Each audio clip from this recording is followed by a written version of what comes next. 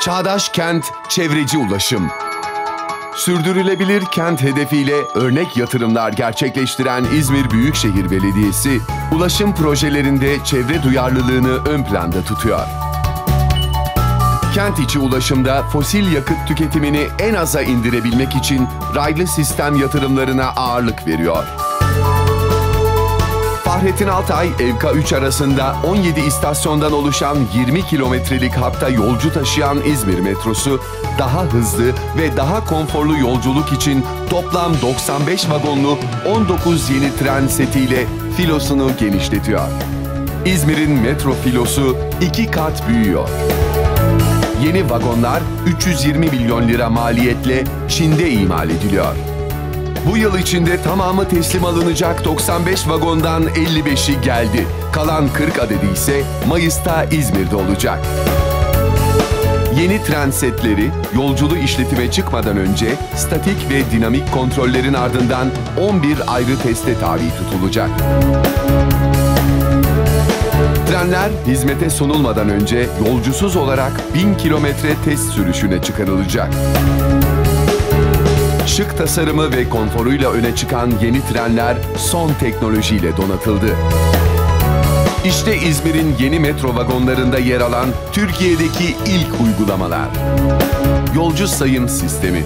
Yolcu giriş sayısını hesaplayan özel sistemler sayesinde vagonların doluluk oranları görülebiliyor ve yolculara gerekli yönlendirmeler yapılabiliyor. Kapılarda ışık perdesi sistemi. Bu sistem yolcu giriş çıkış güvenliğini en üst düzeyde sağlamak için kapı arasında arada kalan bir cisim olup olmadığını görüyor ve komuta ediyor. Kapılarda ışıklı uyarı. Kapı, pencere camları içinde yer alan ışık şeritleri içeriden veya dışarıdan kolaylıkla görülebiliyor ve yolcuyu kapının kullanım dışı olup olmadığı konusunda uyarıyor. Böylece kapılarda gereksiz zaman kayıpları önleniyor. Esnek tekerlek sistemi. Tekerlek çemberi arasındaki esnek malzeme sayesinde titreşim ve ses seviyesi düşürülerek seyahat konforunda artış sağlanıyor.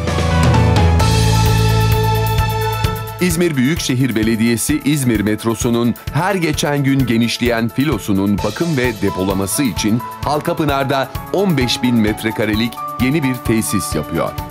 115 vagon kapasiteli yeraltı vagon parkının hizmete alınmasıyla toplam park kapasitesi 229 araca ulaşacak.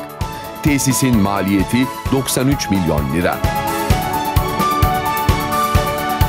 İzmir metrosu hızla artan yolculuk talebine yanıt vermek için mevcut işletme sıklığını 90 saniyeye kadar indirecek sinyalizasyon sistemi kuruyor.